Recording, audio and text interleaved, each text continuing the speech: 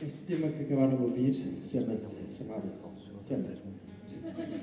Estrela de 5 pontas e está no nosso último trabalho. E eu aproveito aqui o momento publicitário, que é o ideal numa loja de discos. Ali naquele canto está o nosso último trabalho.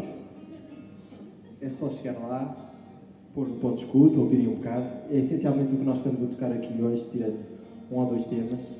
Faz parte desse disco. Espero que estejam a gostar. E já sabem o que é que têm que fazer.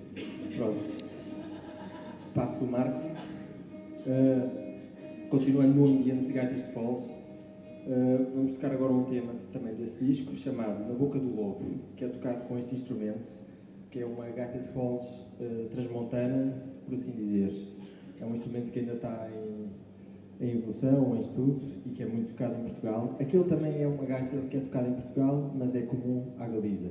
Mas esta é mais, mais. Não vou dizer mais nada, porque senão ainda me enterro aqui. é por cima estou ouvir ali colegas meus gaiteiros que percebem muito mais disto que eu. Melhor não dizer mais nada. Espero que gostem da música.